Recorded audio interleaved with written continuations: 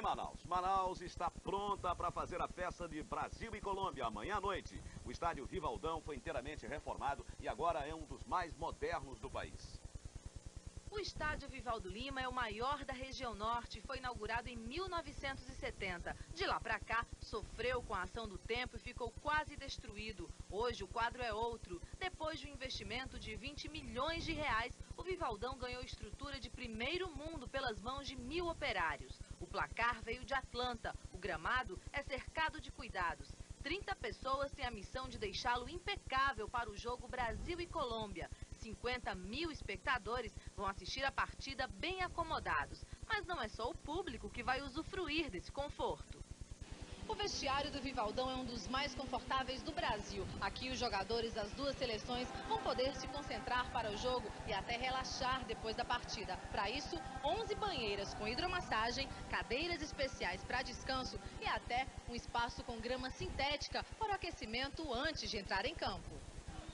Manaus está em festa para receber a seleção. Ué, não era a seleção? Botafogo, Botafogo, campeão. No embalo do título inédito, o branco e preto prevaleceu no desembarque da seleção brasileira. Os últimos convocados chegaram à noite, entre eles, ele.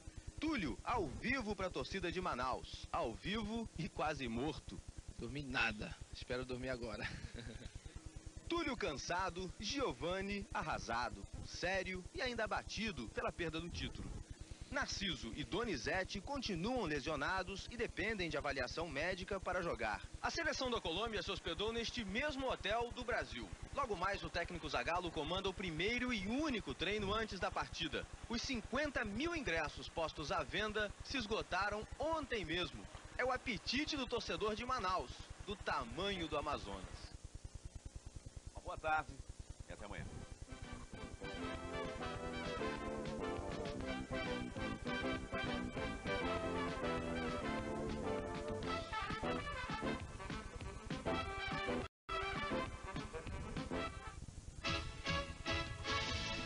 Amistosos da seleção. A equipe brasileira enfrentando mais um desafio.